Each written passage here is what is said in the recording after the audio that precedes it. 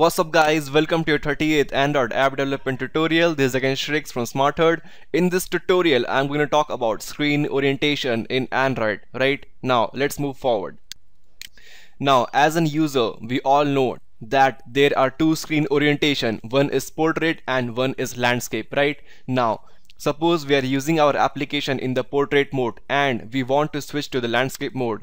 Then in that case, when we switch on to the landscape mode our app look like this right? Our layout changes and the landscape layout comes in front of us right? Now let us consider the case 2 now in this case if we want to switch to the landscape mode then in that case we are not able to do so. In the landscape mode also the application it's still in the portrait mode it remain as it is. Now, the question arises in the case 2, why don't our screen orientation changed from portrait to landscape as we saw in the case 1, right? Now, let's check out the codes of the manifest file. This is the manifest file codes of the case 1 where the codes look familiar what we saw before, right? Now, in the case 2 the codes are bit different we have to add a statement in order to fix the orientation either in fixed portrait mode or in fixed landscape mode. We just have to add a statement in the activity right? That statement is android screen orientation equal to portrait. This screen orientation equal to portrait just fixes our screen orientation to a fixed portrait mode. Even if we try to switch on to the landscape mode our app's screen orientation won't change Similarly, you can also write screen orientation equal to landscape. In that case, our application will have a fixed orientation of the landscape mode. Now, let us quickly jump onto our Eclipse and show you the codes.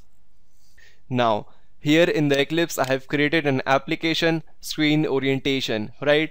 Now, here I am having the main activity activity main.xml and inside the XML file I'm just having a simple button, right? Now this is our manifest file. These codes are actually the codes of the case 1. In this case, let's run our application. Here our app is running and we are presently in the portrait mode. Now let us press Ctrl plus F11 to switch to the landscape mode. Right? In this case, automatically our screen orientation changes and we are able to see our second screen orientation. Right? Now let us do one thing. Let us see our case 2, right? In the case 2, we have to add a statement inside our activity in order to fix our orientation, right? Now let's type screen orientation portrait, right? Now let's save the application and run it again. Now here again our app is running. Now let's change our screen orientation to the landscape mode, right? Now in this case, in our case 2, our screen orientation didn't change because we have fixed our screen orientation to what? Portrait mode.